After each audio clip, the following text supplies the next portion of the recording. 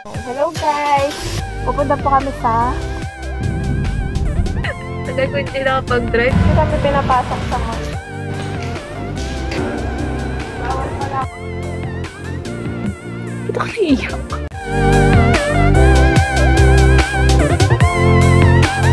Hello guys! Pupunta po kami sa Aventus ngayon. Tapos samahan niyo ako tingnan natin yung itsura ng labas ngayon. MECQ. So yan, itong outfit ko. Mamaya makikita nyo na rin. Bye! Ano yung? Sobrang init. Gulo ng hair ko. Pangit na itong gan- nakaganto. Parang pangit ba? Bye-bye! Alis na kami.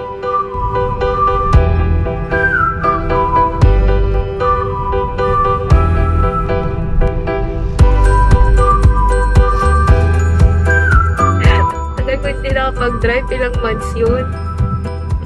After ba nito? Diretso. Diretso. Ay, waste naman. So, nandito na po kami sa North EDSA. Tingnan mo. Sobrang dami pa ring tao. Ay, na-zoom. Dami pa ring tao sa mall. Anong gagawin nila dyan?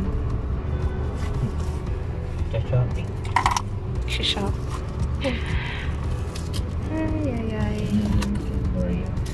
May pila. Hindi kami pinapasok sa mall. Ano wala akong quarantine pass. Therefore lang meron. Sa labas na yung dadaan.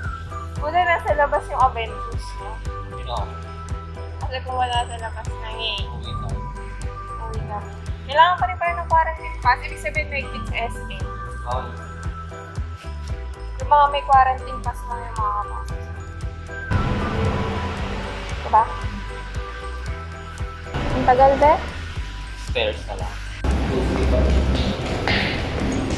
Ano ba?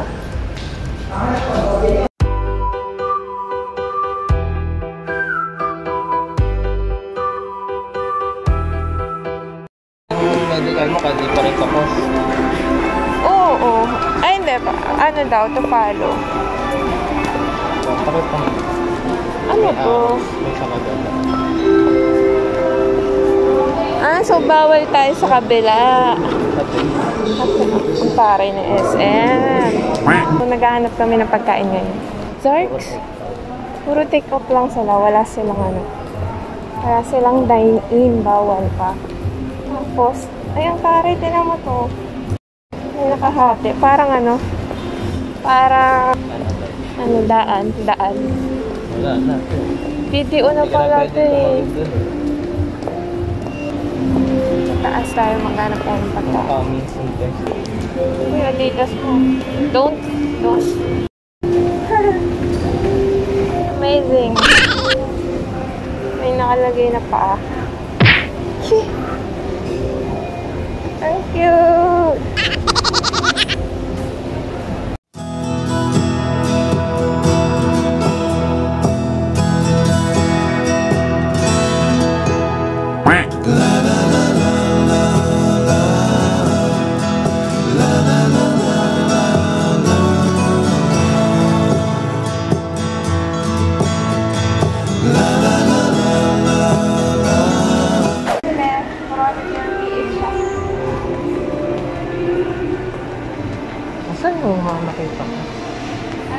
Ano? Ah, sa kabila rin pala yung mga Ken.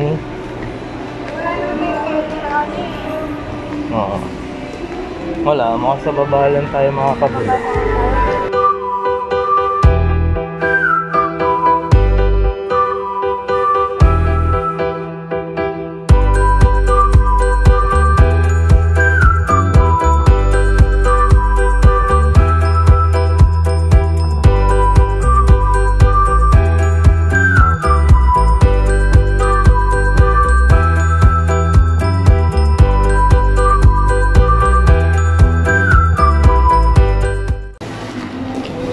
So, babalik na kami sa parking. Reporting. Ah, dito pa tayo kanina? Ah, sa taas pa.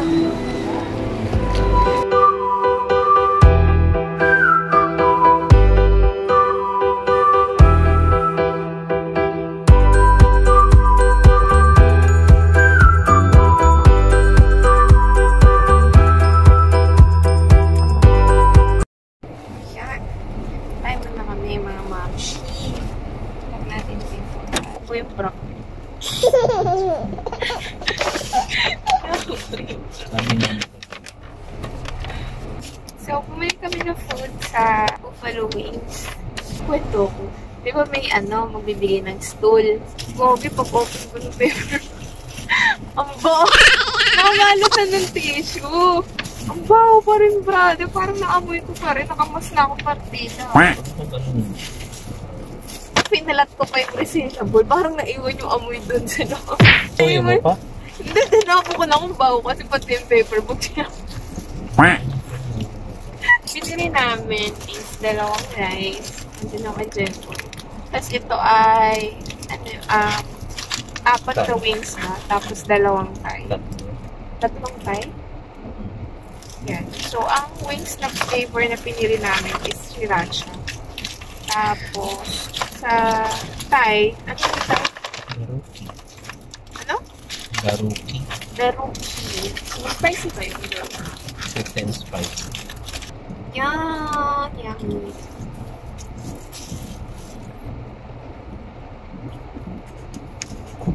Ninaw na sa'yo. Eh? Ay, sriracha. Mas iba yung sriracha na nito kesa dun sa sriracha sa yellow cup. Dry rub kasi po. Sa yellow cup, dry. Ito medyo ano siya, mas Sauce. medyo madilim sa kotse namin. Ito sana makikita. Mahalaga eh.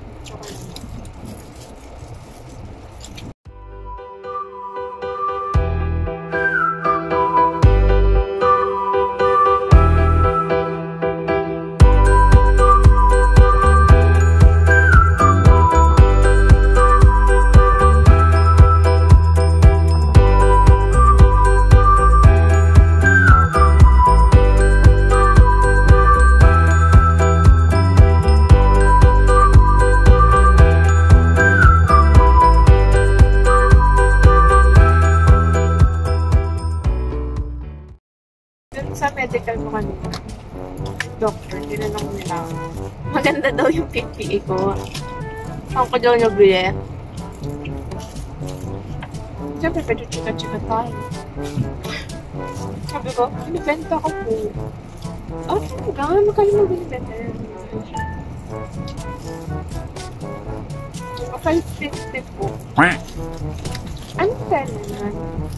Tinanong ko price. Oh. Sabi na, tapos tinawakan niya yung damit. Kasya ba sa akin yun? Sabi na. Ba't pinatarin mo?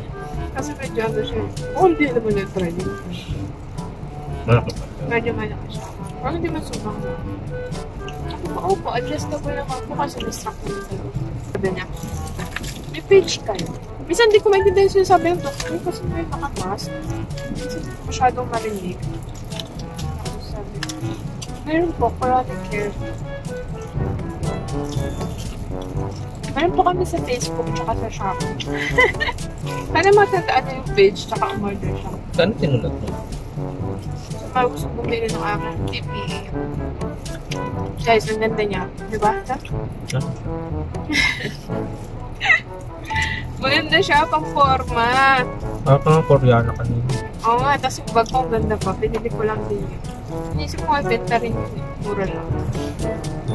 So, sa mga may gusto dyan ng PPE, guys, for 560 pesos, hanapin nyo lang sa Shopee, Corona Care PH, dire-diretso lang space. Or kaya, available din kami sa Instagram and sa Facebook. Hindi. Sa Instagram, Facebook, ilalagay ko na lang yung link sa baba. Pati yung link sa Shopee. 550 lang yun, ma'am. Bigyan ko pa kayong mask. Ang ganda, di ba? Kasi, meron siyang ano sa likod. Meron siyang hood. Tapos, ano. Yan. Medyo madilim kasi tayo mga moms. Yan. Kaya hindi natatanggal yung hood ah. Pero okay lang maganda naman siya pang forma. Tapos yung closure type niya, zipper. May zipper siya. Tapos, free size lang kasi to. So, ang height ko, if makikita nyo sa video, ganun siya kama sa akin. Mga 5'1 lang. 5. Hindi naman ako ng height ko. Basta mga ganun. 5'1 or Parang 5'2. pang medical eh. Hindi ko na-check in. Hindi naman sinabi sa akin. Yun, mga 5'1 or 5'2, ganun siya kahaba sa akin. Tapos, free size siya. Pwede siya sa extra small to double XL. Kasi nga, adjustable siya gawa na. Meron tayong, um, yung sa may waist, meron siyang strap doon na may buhol. Tapos, pwede din siyang bulsa. So, ginagawa ko dun sa bulsa, doon ko na nilalagay yung alcohol. Kaya hindi na ako box-box ng bag. Nandun na yung alcohol ko pang spray, tsaka yung ballpen ko kanina. Magpa-medical ako. Kaya bumili kami sa Amazon for 105 pesos. Amazon Free kasi. shipping. Karaan ng 500 metro. Kumanan sa Lourdes Castillo. May sinenta ko sa'yo pala. May umusok na naman tayo. Ngayon, Oo, kanina yung mga nanay. Nanay. malakas. Hindi. Steve. Hindi ko na kung send ko na pala papa mo. eh. Yun sa Facebook. Naka-alert level. May guard naman na assist. Back na,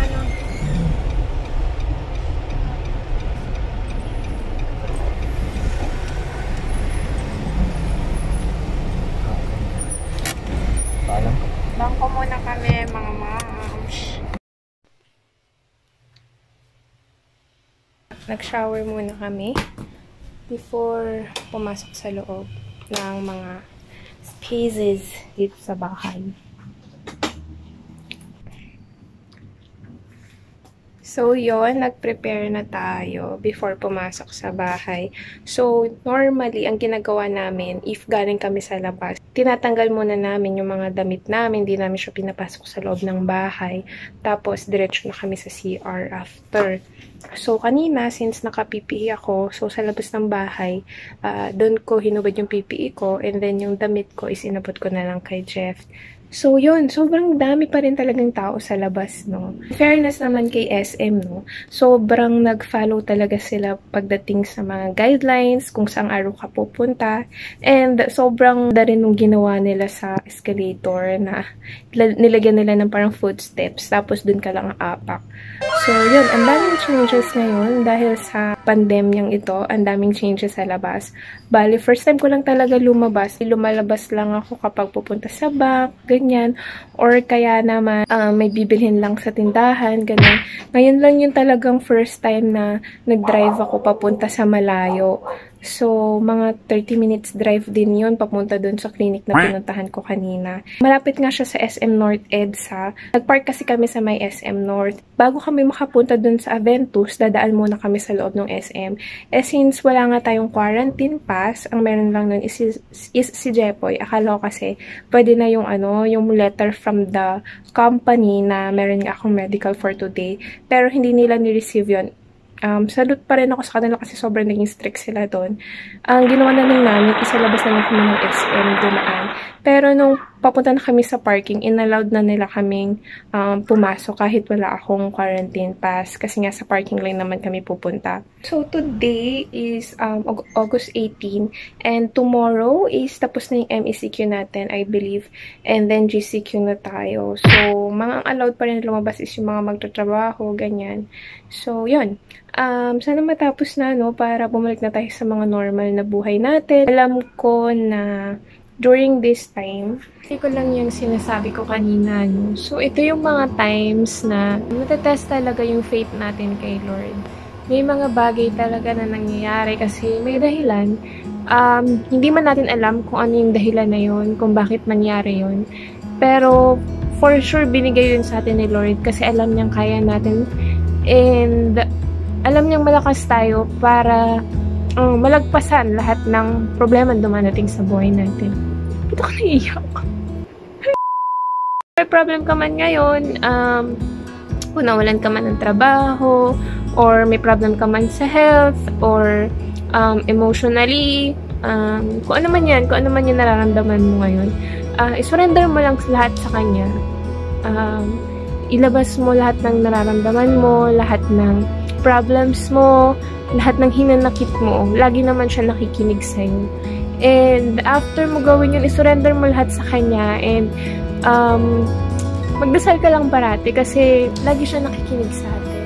okay lang umiyak. Yan, normal naman yan kasi um, tao lang tayo, iba't iba yung emosyon na nararamdaman natin. Bawasan natin yung mga negative um, thoughts kasi mas lalong nakakabigat siya ng pakiramdam. If ever man na na-stress ka, ganyan, kinig ka lang ng mga worship songs. Yun lang yung ginagawa ko usually. Nakikinig lang ako ng mga hill songs, ganon, if nadadown ako. So, yun. Alam ko naman na lahat tayo ay malalagpasan to, itong problemang kinakaharap natin ngayon, kung ano man yun. Um, yun lang. So, masyado na akong kumikimerot dito. So, thank you guys for watching and ingat tayong lahat. Bye!